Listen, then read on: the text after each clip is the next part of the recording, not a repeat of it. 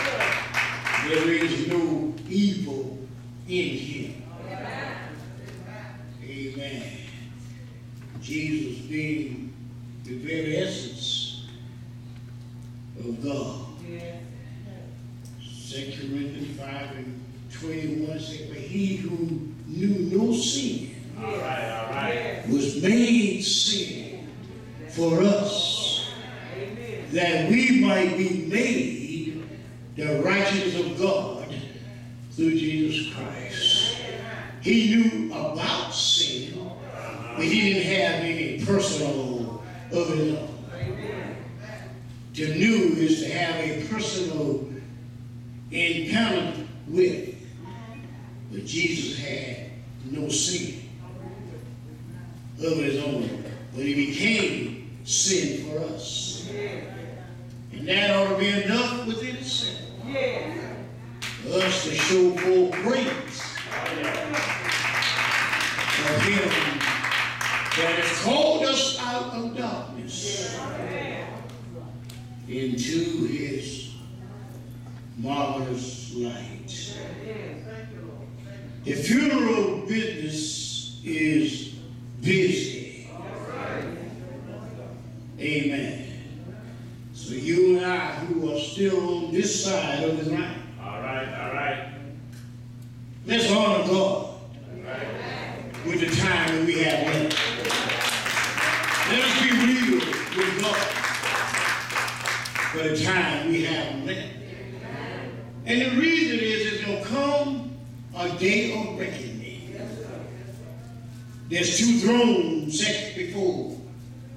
the people in the land.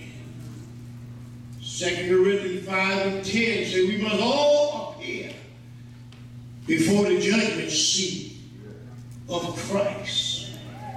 That every one of us must give in an account to God for everything that we've done oh, in this body, whether it be good or bad. That is the judgment seat of every believer.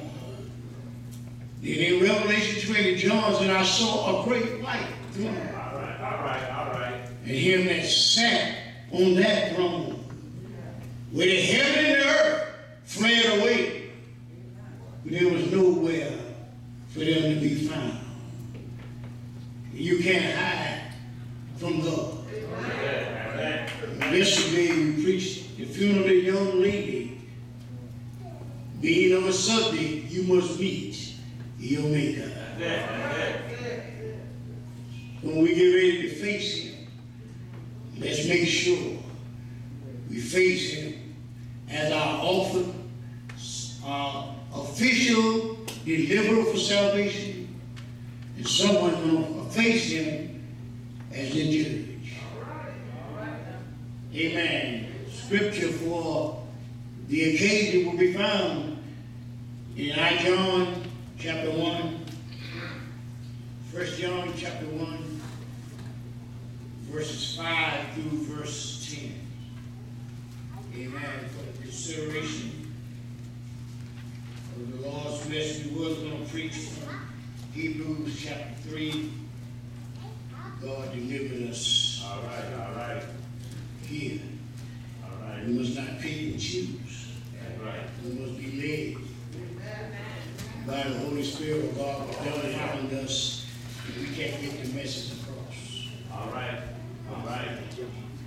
Amen. We are the messenger, but He is the message. If you're there, you will find God's written word.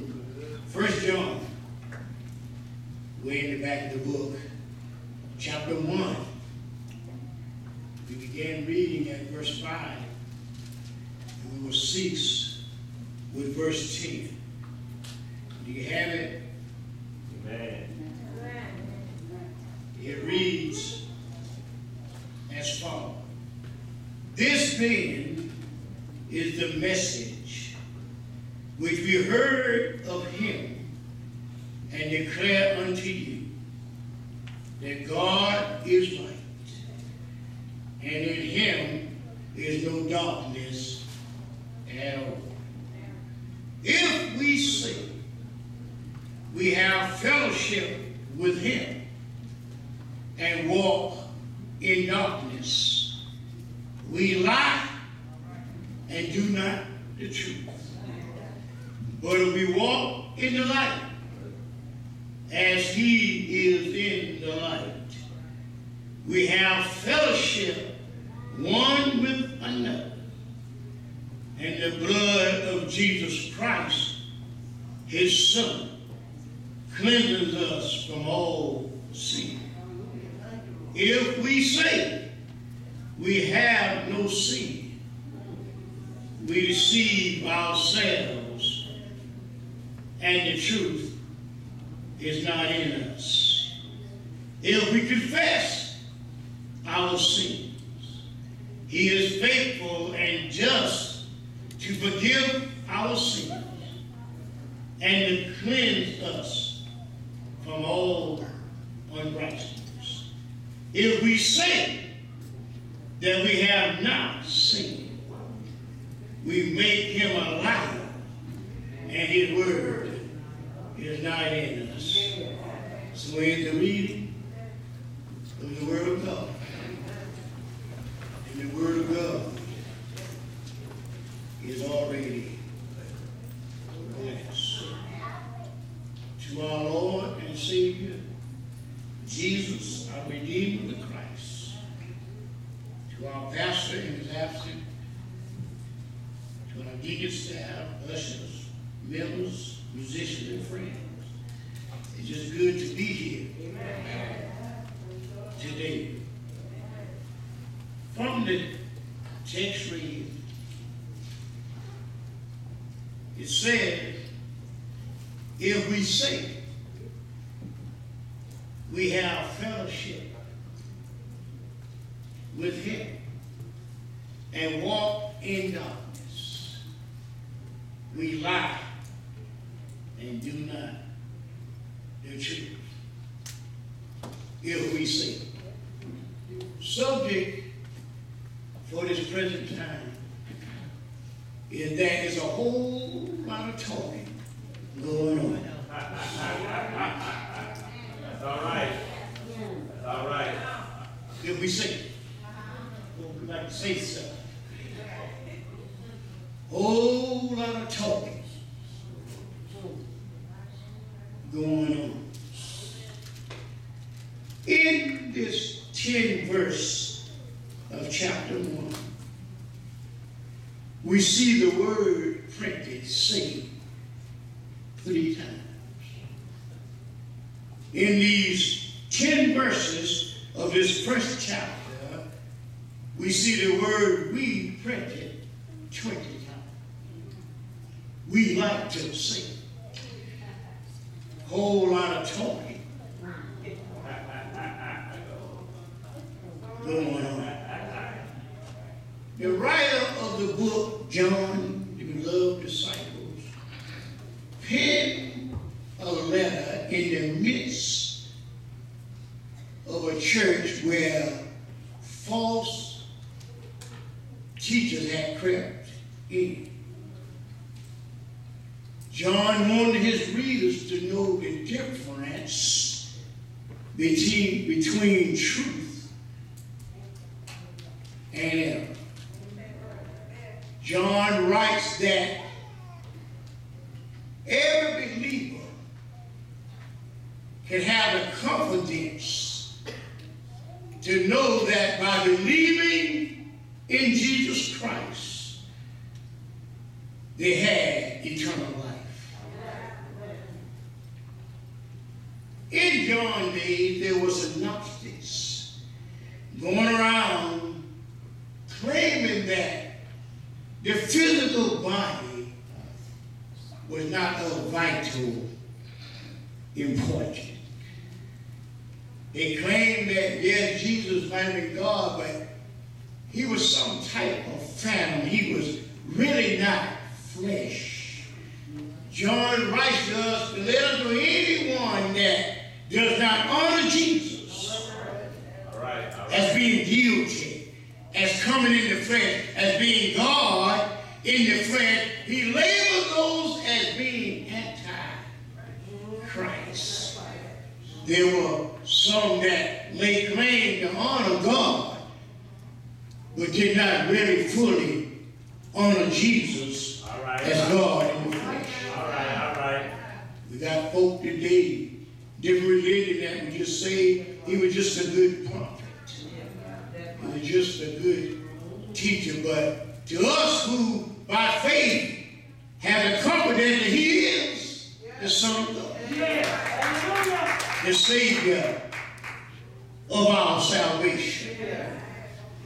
The one in whom every one of us can commit the keeping of our souls to him as a faithful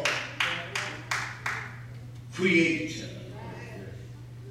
In John's day, there was a whole lot of talking going on, but John wanted us to know that there's some things that is vitally important in order to walk in this Christian race.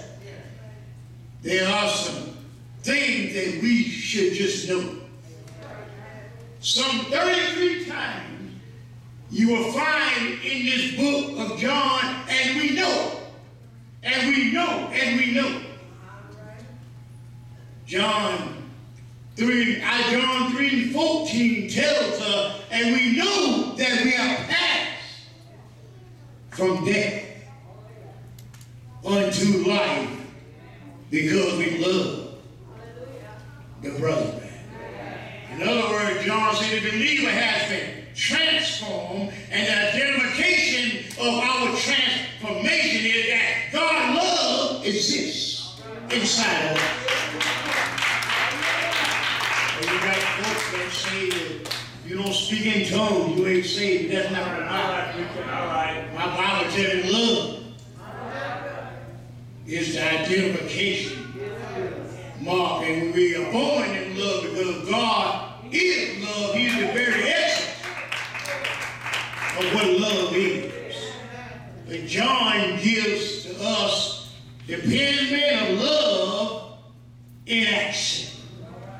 Since God is loving, God is active, and God is moving about, He tells us we ought to put love in action because God is action.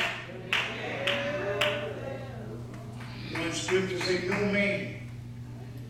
Say, how can you love God in whom you have not seen and hate your brother who you see every day? And the Bible good at calling us a lie. We get mad when folks call The Bible says you a lie. And the truth is not in. In John 1 and 1, John said that which was from the beginning. John takes us back to eternity past, showing us that Jesus always existed before there was a beginning. He takes us past Genesis 1 and 1 of the created story. In other words, God, Jesus began before he began their creation. In the beginning, which was from the beginning, which we have heard, which we have seen with our eyes, which we have looked upon, and our hands have handled of the word of life. John, I'm not writing a fairy tale story. John I am an eyewitness. I'm a witness that Jesus did come in the flesh. Jesus taught us, we heard him teach, we, we, we witnessed with our eyes who he was, and now that we handled him, we touched him. We see him, we listen to him as he teach, and now we handle the word of life. In other words, made Jesus the Savior. And the word. In John 1 and 1, the Bible says, in the beginning was the word. The word was with God, and the word was God. In verse 14, in John 1 saying, the word was made flesh. And John says, dwelt among us uh, as the only begotten of the Father, full of grace and truth. John says in verse 2 here, for the life was manifested, and we have seen it. And we bear witness, and we show it unto you, that eternal life which was with the Father and was manifested with us.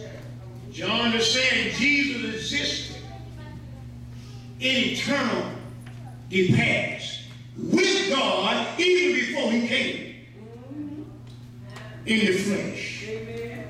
In the book of Daniel, Daniel calls him the ancient of Days. Amen. He's, he's even older than the first day that begun.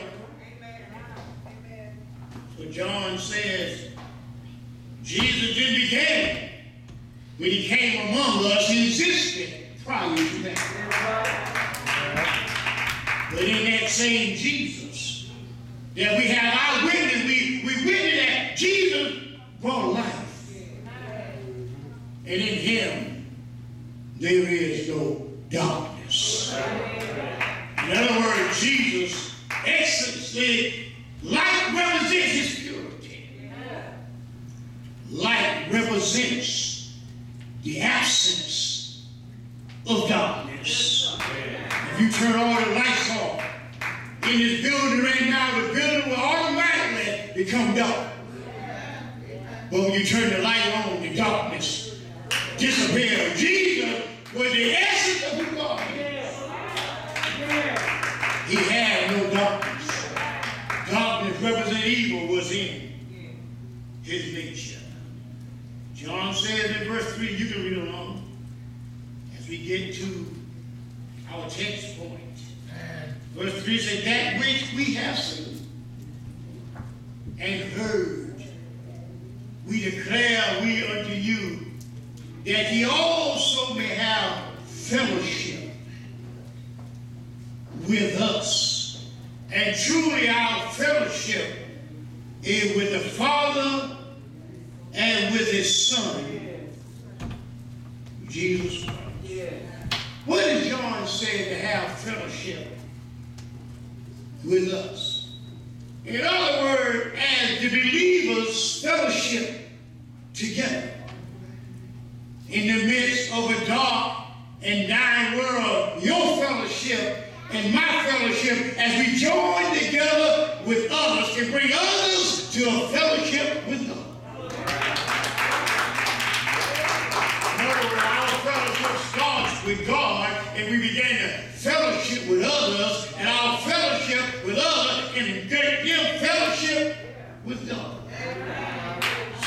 Wants to know of you and they see you and I fellowship during of this pandemic. All right, all right. Somebody want to know how do you have the courage, the boldness to even come together in times like these. With my brothers and sisters, you can tell them I'm not trying to be bold in myself. I'm bold because my confidence, my fellowship with God the Father, and I'm not afraid to fellowship one with another. So I come out to the house of God. In spite of what's going on around us, I still love the fellowship. I still, within this fellowship, want somebody else to see that beyond our fellowship, we also have fellowship with God. It is God that unites us by His Spirit. Someone is watching us, church. John speaks us of being active in our faith. John speaks of that the believers ought to continue to love one another. Someone who don't know your Father is looking at us. John says, that which we have seen, we are now sharing it with you. In other words, John is not sharing any secondhand information, but he's, he, he's an eyewitness because Jesus walked among them. In order for you to tell someone else about who Jesus is, you must have your personal experience. It's a whole lot of talking going on, but we need to stop doing so much talking and do more walking. A light within itself does not talk, but the light shines. Oh, you don't need to go around trying to prove to anybody who you are. Folk will be able to tell who you are by your walk, not by your talk. John said the reason we write this letter unto you. He says in verse 4, and these things write we unto you that your joy may be full. Let me tell you something, saints of God, a whole lot of God's people don't know how important it is to stay full of joy. In order to stay full of joy, you got to stay in fellowship with the one that joy comes from. We sing a song, this joy that I have. The world didn't give it to me. So why do we allow the world, circumstances, to take our joy away? John writes that the reason to have confidence that as they continue to fellowship with God and one another in their fellowship, God will uh, increase their joy. We need joy to face the temptations in this world. We need joy to face the tribulations in this world. We need joy to even face the racism that exists in this world. So in order for us to experience this type of joy, we got to stop doing so much talking and doing some walking. It's a whole lot of talking going on. But I come to find out talk is cheap. It don't cost you nothing but a little bit of God's breath and ain't yours. But John wants to encourage us. In verse 5, he said, Then this is the message which we heard of him. And John said, We declare and we preach this message unto you that God is light. And in him there's not one ounce of darkness. But John wants us to know in verse 6 but we say we have fellowship with him and walk in darkness. We lie and do not the truth. In other words, when we say we have fellowship and live our lives apart from walking with God. Yeah, John said there's no truth in that. It's just a whole lot of talking going on. Now, this text doesn't have anything to do. Darkness here does not represent a loss of your salvation. Darkness represents a loss of being in fellowship with God. A child of God can be born again and yet walk in darkness. In other words, you can have a biological son or daughter. And biologically, they can be yours because they have your DNA. But also, you and your individual child may not even speak one to another. They're still your child, but they have broken fellowship. In other words, John writes to us that we ought to be careful of our relationship one with another. Our relationship with each other determines our fellowship with God. In other words, we can't walk any kind of way and be in fellowship with God. In Amos 3 and 3, Amos asked a question and he said, How can two walk together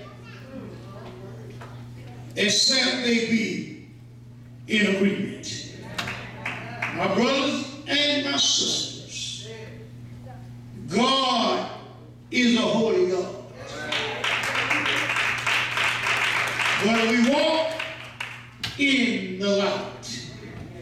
Pray with us, church. All right. All right. We have fellowship one with another. That's why the church is so divided today.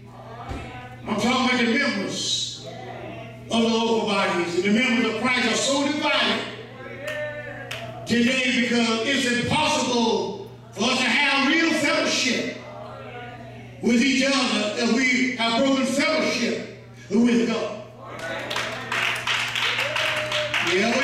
Clear why there's so much fighting among God's people. And the reason is because too many of God's own people are not walking with God. But John says that we walk in the light. We have fellowship through the blood of Jesus Christ, his son and he cleanses us from all sin. Now we recognize the fact this has nothing to do with salvation. Because you're already born again, you already been cleansed once. But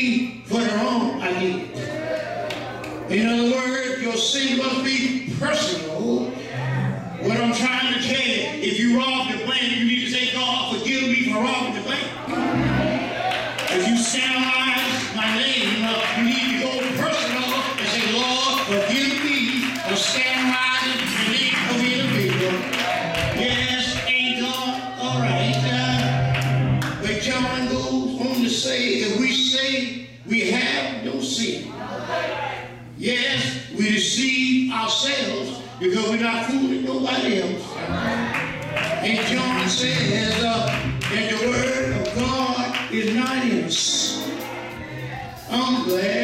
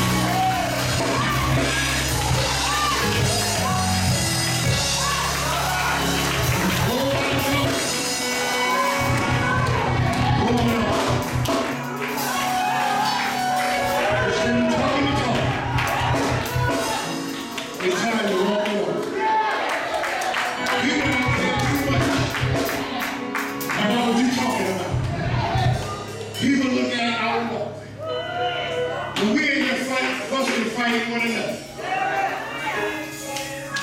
That's a picture. If we're not in fellowship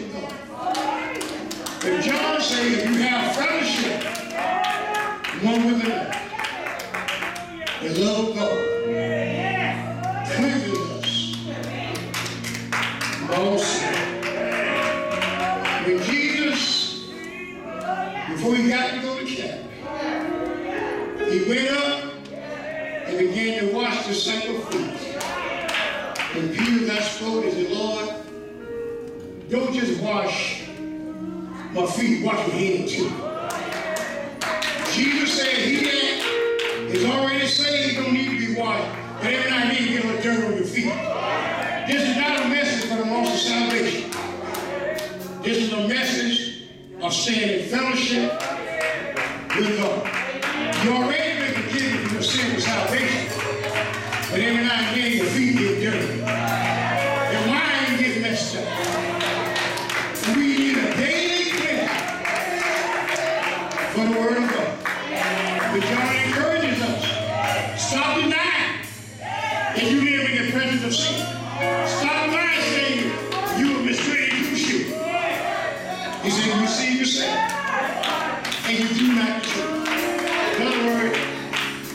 truth won't help you until you apply it. You're good at looking at other folks' sin, but refuse to acknowledge us. He said, You confess your sin. He is faithful and just to forgive you of your sin, your personal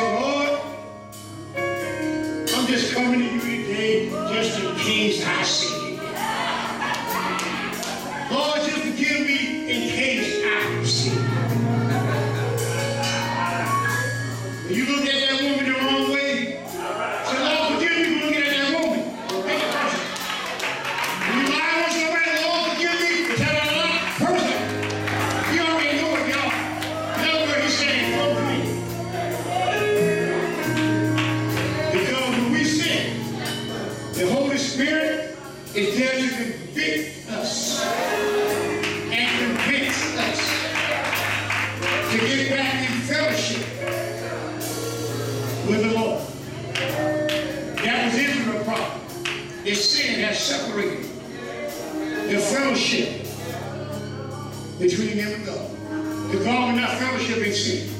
Every believer got the Holy Spirit on the inside. And the Holy Spirit is the agent revive, convicts us. Convict us to be the make us guilty. And after he makes us guilty, he tries to convince us to stop doing that sin. And turn away from it. And we confess that sin. Then God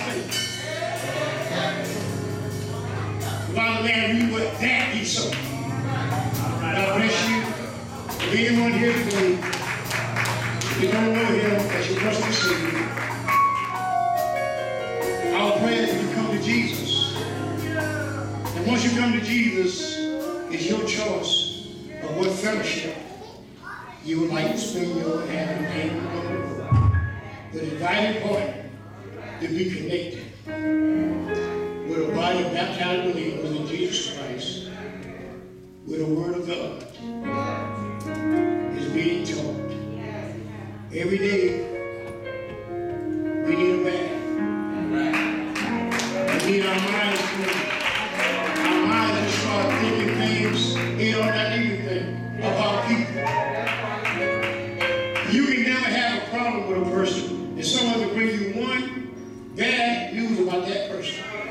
You start looking at that person like a person side, and you don't have no personal knowledge. Jesus, the one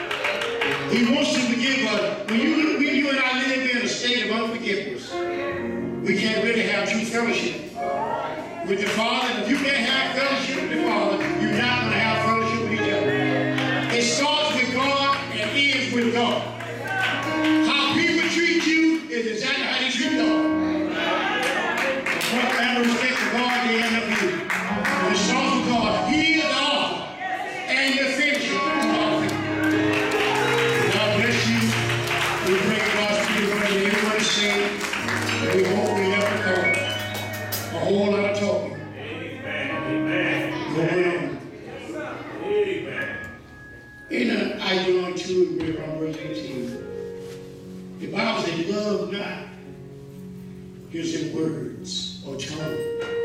You use your tongue at all, right? But also in deeds. In other words, John wants us to know God love goes beyond talking. God love does something.